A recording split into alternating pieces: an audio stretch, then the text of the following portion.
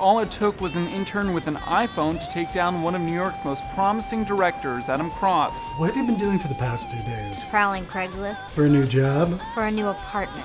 Why would no one send me something like this? Does he think it's romantic? This is from your lover. I really hate that word. word. yes. Aaron's applying to law school. Again? What do you mean again? Shh. My worst nightmare just happened. That was it. Who is that? Our new director.